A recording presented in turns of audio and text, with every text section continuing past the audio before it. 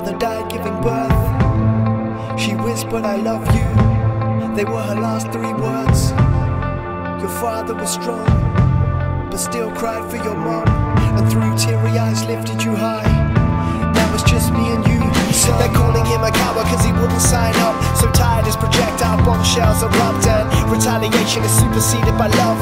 That's one will never give up. He raised you in a ceasefire as five years passed. It was your first day of school, dad took you to class. He worked hard so you could have the life he would dream of.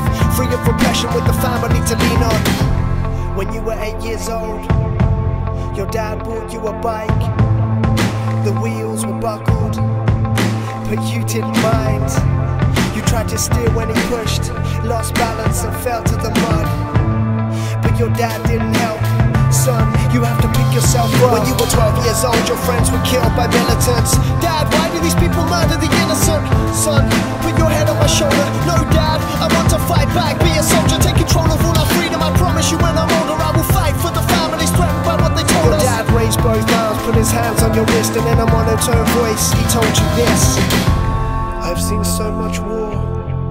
I've seen so much death. I've watched homes get destroyed until there was nothing left. And through all of this conflict, I've learned just one thing. If war never ends, nobody wins.